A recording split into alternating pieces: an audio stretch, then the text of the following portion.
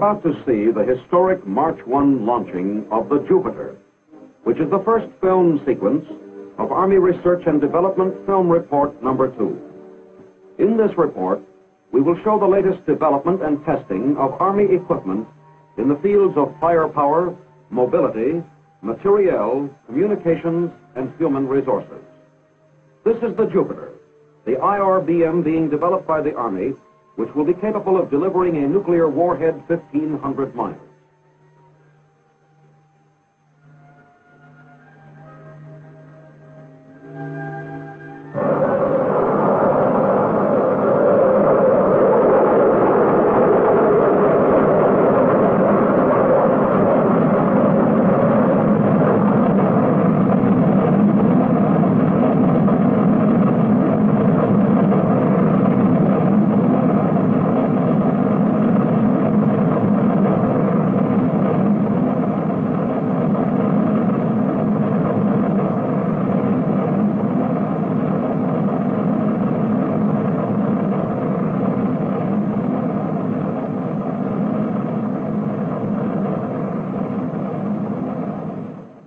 The Army initiated the Jupiter program in November 1955 to provide, at the earliest possible date, an intermediate range ballistic missile to travel as far as 1,500 miles.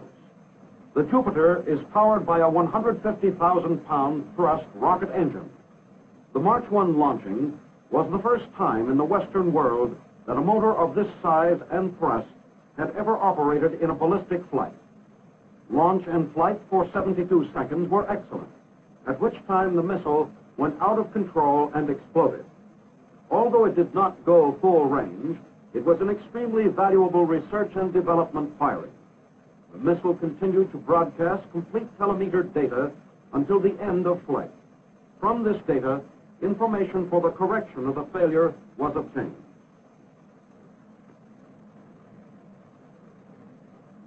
The Jupiter is a single-stage ballistic missile.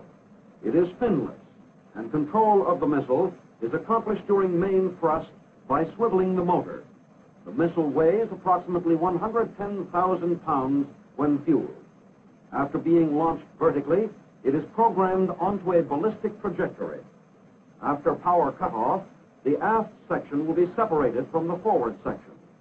The forward section will maintain its attitude tangent to the trajectory until it re-enters the atmosphere. Upon re-entry, the nose cone will separate from the guidance compartment and continue in a free fall ballistic dive to the target.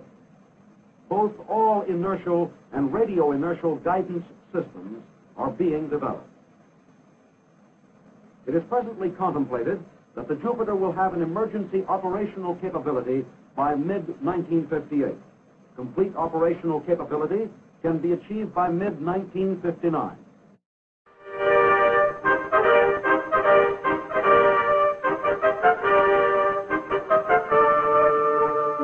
You are about to see the historic March 1 launching of the Jupiter, which is the first film sequence of Army Research and Development Film Report Number 2. In this report, we will show the latest development and testing of Army equipment in the fields of firepower, mobility, materiel, communications, and human resources. This is the Jupiter, the IRBM being developed by the Army, which will be capable of delivering a nuclear warhead 1,500 miles.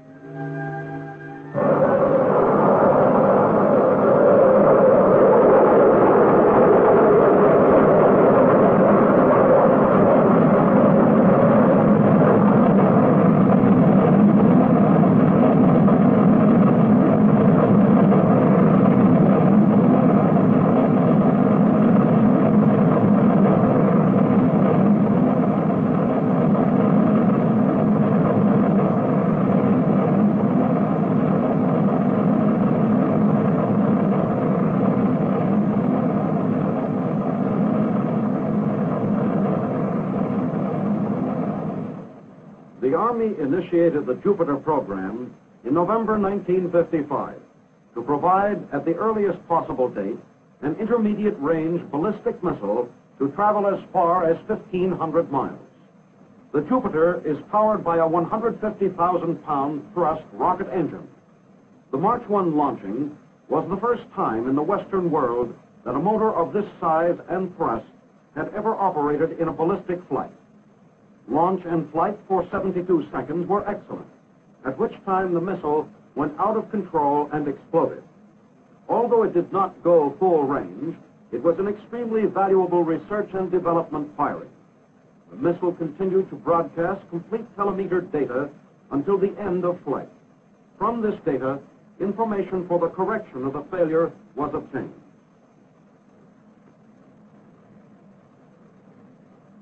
The Jupiter is a single-stage ballistic missile. It is finless, and control of the missile is accomplished during main thrust by swiveling the motor.